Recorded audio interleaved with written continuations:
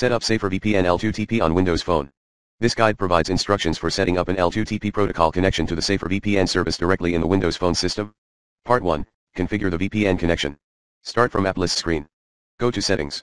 Tap on VPN. Switch the status to On, and then tap Add, Plus. For your needs, type one of the following Safer VPN server host names in the server address field.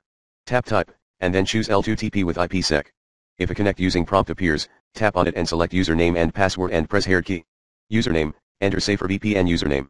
Password, enter Safer VPN password. Switch send all traffic to on.